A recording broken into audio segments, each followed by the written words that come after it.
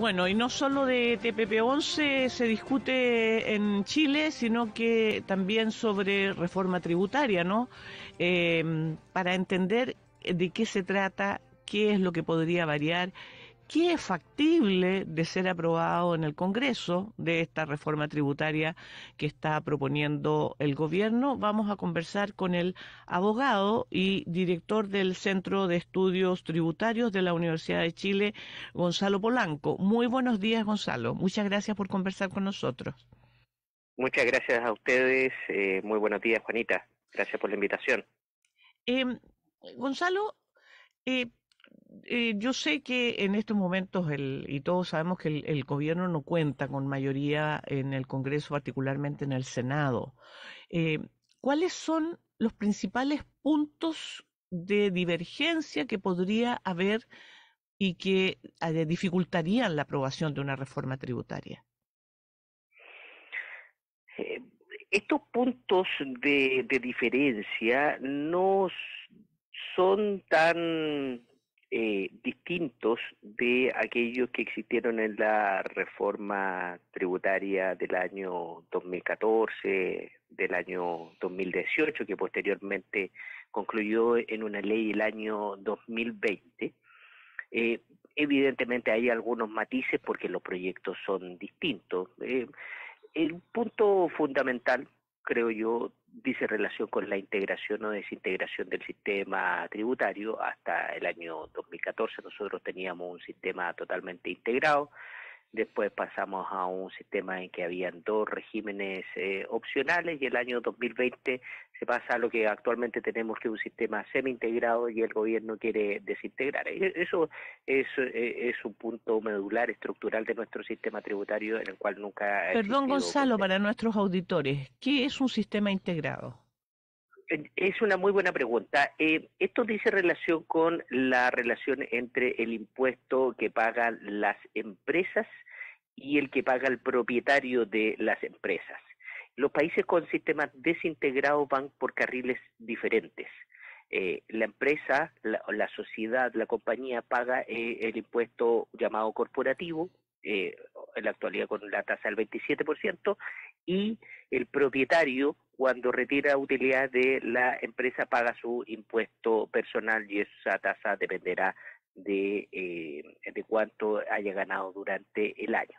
Los sistemas desintegrados funcionan cada uno por un carril distinto. En cambio, el sistema integrado, eh, el impuesto pagado por la empresa se utiliza como un crédito en contra de lo que paga el impuesto, el, el propietario de la compañía. Es como si hubiese un vale de descuento. El propietario pasa por la caja y dice, mire, le salió mil, pero usted tiene un ticket de descuento debido a que su empresa ya pagó un cierto eh, impuesto y le paso ese ticket y entonces en vez de pagar mil, paga 800. Y existen argumentos en favor de una u otra eh, posición y, y, ese ha sido un tema que quizás no ha salido en la, prensa, pero es un tema que sí se discute a nivel parlamentario. Hay otros temas que quizás han salido más eh, mencionados en los medios, como por ejemplo el impuesto al patrimonio. Eh, en la oposición este impuesto no gusta particularmente y el gobierno eh, insiste en, eh, en, colocarlo, en establecerlo y está abierto, se ha mostrado abierto a ver cuáles son las modalidades fundamentalmente de valoración de los activos y también la tasa diría que ahí, por ejemplo, usted tiene dos ejemplos de, divergencia. Y hay algunas otras cosas en las que existe algún tipo de acuerdo, por ejemplo, con eh, establecer medidas fuertes para eh, el combate a la evasión y a la ilusión tributaria. Gonzalo, ¿cómo le va? Muy buenos días, Claudio le saluda por acá. Em, Hola, Claudio, ¿qué tal? Otra de las críticas o dudas que, han planteado, sobre todo desde la, de la oposición, tiene que ver con, la recaudación, si es que efectivamente esta reforma va a lograr recaudar lo que el, gobierno proyecta que va a recaudar. Hay, hay quienes ponen en duda esa, ese, ese cálculo. ¿Usted cómo, cómo lo ve? Yo he dicho anteriormente, y me parece que en este mismo medio que la recaudación propuesta por el gobierno es sumamente eh, desafiante, eh, inclusive tomando en consideración los eh, supuestos originales y también todas las modificaciones que han existido. Eh, tradicionalmente o históricamente las reformas tributarias en Chile no han recaudado todo lo que se había prometido porque este esta recaudación depende de muchas condiciones de, que después se tiene que llevar a cabo en la práctica. Por ejemplo, si usted fortalece el servicio de impuesto interno, ese fortalecimiento toma un tiempo en llevarse a cabo. Hay que capacitar a los funcionarios, hay que proveer de nueva infraestructura, etcétera, etcétera. Entonces, esto eh, es bastante más complejo de llevarlo a cabo en la práctica que lo que puede aparecer en un cálculo que hacemos desde, la academia. Eh, abogado, eh, ¿qué ¿Hasta qué punto esta reforma tributaria, yo sé que todas las reformas tributarias son eh, de alguna manera, ¿no es cierto?, resistidas por ciertos sectores, pero ¿hasta qué punto es real el que una reforma tributaria como la que se está planteando pueda afectar la inversión y por qué podría afectarla?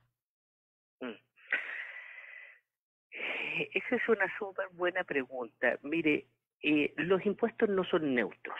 Eh, cuando las empresas, por ejemplo, pagan más impuestos, evidentemente eso disminuye el margen de utilidad que tiene. Entonces, si la tasa de impuestos o la carga tributaria es muy elevada, es evidente que algunos proyectos que podrían hacer, eh, podrían ser eh, atractivos, dejan de serlo.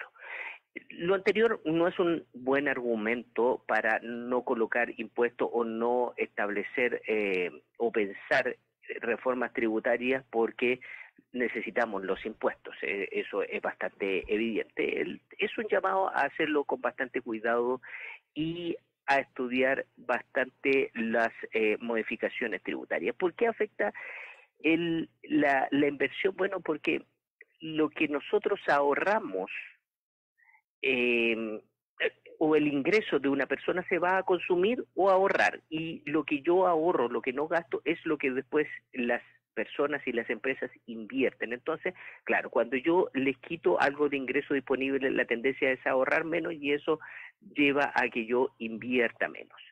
Pero se ha dicho que eh, no es conveniente establecer o implementar una reforma tributaria en estos momentos en que claramente vamos a tener años muy complejo, pero lo que se podría pensar es en empezar a diseñar los cimientos de un buen sistema tributario de un, eh, y hacer una modificación a nuestras normas tributarias y no necesaria implementar no necesariamente implementarlos mañana ni implementarlos el próximo año, sino que establecer alguna gradualidad. Entonces, yo creo que ese argumento hay que mirarlo con particular cuidado, ¿ah?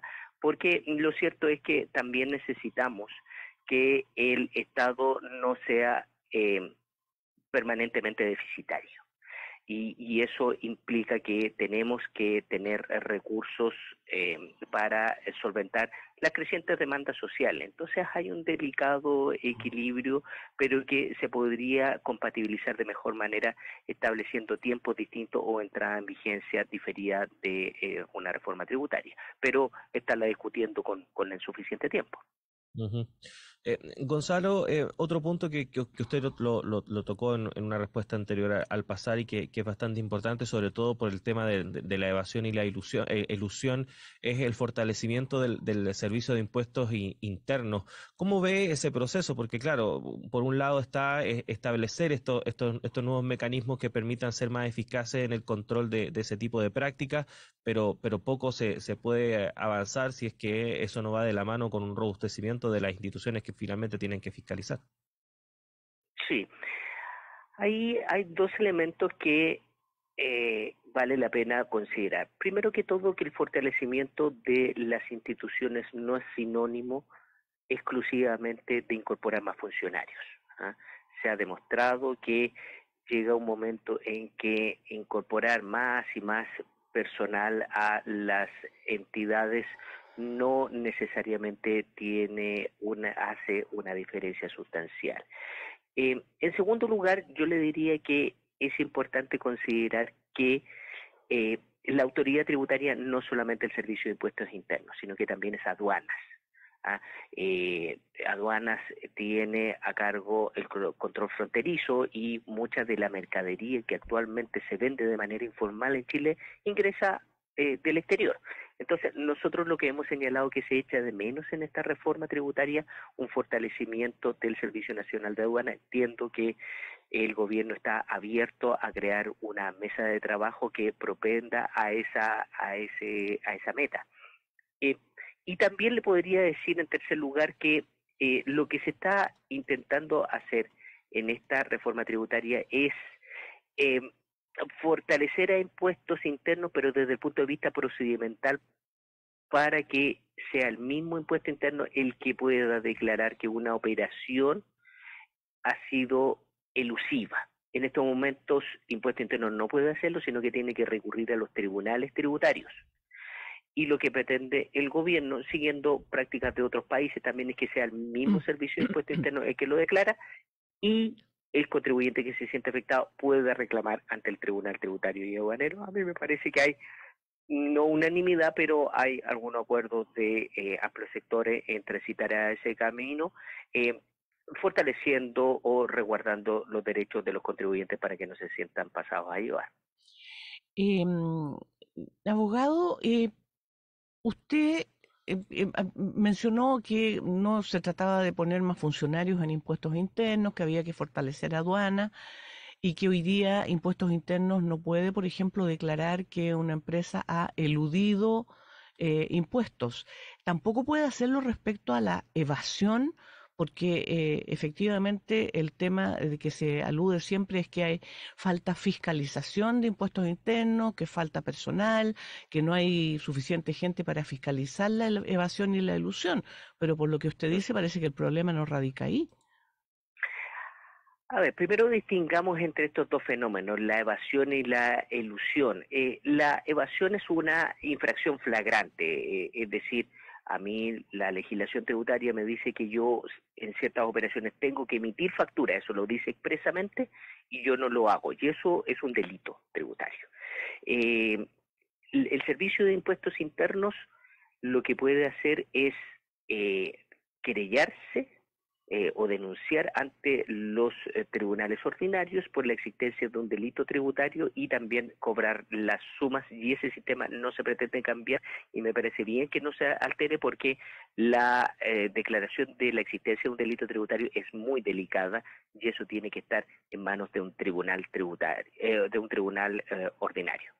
Lo que se discute es respecto de la elusión, que es un fenómeno diferente, porque ahí en la ilusión no hay una contravención flagrante a la norma, sino que el contribuyente se ampara en el silencio de la disposición y entonces hace una maniobra de una forma muy poco usual, muy poco frecuente, y uno si eh, analiza por qué hizo esa maniobra de esta forma, el único objetivo fue reducir impuestos, pero eso no está prohibido por la, no estaba prohibido por la ley, digamos, sino que se ampara en el silencio de la ley. Y en muchos países esa existencia de maniobras elusivas es declarada por la autoridad tributaria y después si el contribuyente no está de acuerdo en esto, tiene que recurrir ante el tribunal competente. En Chile no, en Chile el servicio tiene que mandar o enviar los antecedentes al tribunal y es el tribunal el que hoy por hoy lo declara, lo cual en la perspectiva del Servicio de Impuestos Internos que yo comparto, eh, entraba o hace más engorroso la declaración de una maniobra elusiva. Y lo que se pretende hacer ahora es que el servicio la declare y el contribuyente pueda reclamar ante el tribunal. Estamos conversando con el abogado, director del Centro de Estudios Tributarios de la Universidad de Chile, el profesor Gonzalo Polanco, a propósito del debate en torno a la reforma tributaria. Eh, Gonzalo, otro de los aspectos que incorpora esta, esta, esta reforma tributaria es un, es un nuevo royalty a la gran eh, minería que ha generado reacciones al interior de, del gremio minero no muy positivas, en el sentido de que, muy parecido a lo que hablábamos anteriormente, eh, no, no otorgaría incentivos para la inversión sino que al contrario, de hecho, algunas mineras sostienen que em, se pondría en riesgo con este royalty inversiones por cerca de 10 mil millones de dólares. ¿Cómo, cómo ve usted eh, eh, este tema? Eh, ¿Es, válida la preocupación que existe en el, gremio minero o, no tanto? Yo creo que es una preocupación válida. Hemos personalmente yo he hablado con muchas personas que han sacado los números, inclusive colaboradores desde el centro han sacado los números y eh, la carga eh, total de la actividad eh, la hace, si es que se aprobara el proyecto, ser poco competitiva. Yo creo que afortunadamente el gobierno tomó nota de esta situación y se está trabajando en establecer un impuesto eh, a la minería que aumente la carga, porque esto es algo que me parece hay un consenso en el sentido que el sector minero puede hacer un aporte adicional, pero paralelamente establecer una carga total que sea competitiva con aquellas cargas que tienen nuestros competidores, Perú, Australia, etcétera, y con una buena eh, combinación, porque aquí hay un componente ad valorem, es decir, al precio del cobre, y un componente de la renta minera. Y tradicionalmente lo que se ha entendido es que tiene que haber una buena combinación entre estos dos eh, elementos para hacer un eh, royalty que sea adecuado. No solamente mirar el precio, porque el precio es un factor que varía y que no depende de nuestro país determinar el precio del cobre, eh, y que si solamente miramos el precio podría eh, no estar mirando cuáles son los costos que se invierten eh, para extraer el cobre y mirar entonces también la renta que tienen las empresas mineras, cuál es la utilidad que efectivamente están teniendo. Una buena combinación aprovechar cuando existen buenos precios del cobre y colocar un componente de valores, pero también mirar qué es lo que está sucediendo, eh, pasando con las utilidades de esta, eh, de esta área. Y, y yo creo que existe una buena disposición, un buen ánimo para conversar y establecer algo razonable. Estamos conversando con el director del Centro de Estudios Tributarios de la Universidad de Chile, abogado Gonzalo Polanco se nos pasó volando el tiempo y nos gustaría entender muchas más cosas, ¿no es cierto?, sobre eh, reforma y sobre tributos. Eh, pero le agradecemos muchísimo que hayamos conversado esta mañana. Que tenga muy buen día. Muchas gracias a usted, a su disposición. Gracias, profesor. Ahí estaba entonces el abogado Gonzalo Polanco, Juanita, conversando con nosotros sobre esta reforma tributaria que sin duda alguna va a generar mucho más debate dentro de las próximas jornadas. Son las 7.59, tenemos que hacer una pausa en esta primera edición de Radio Análisis, pero siga junto a nosotros porque en breve llega nuestro director Patricio López para continuar con el programa y entrevistas, conversaciones muy interesantes por delante, así que no se separe de nuestra sintonía. Juanita, nos reencontramos mañana, un abrazo, que estés bien. Que estén todos muy bien, que tengan muy buen día.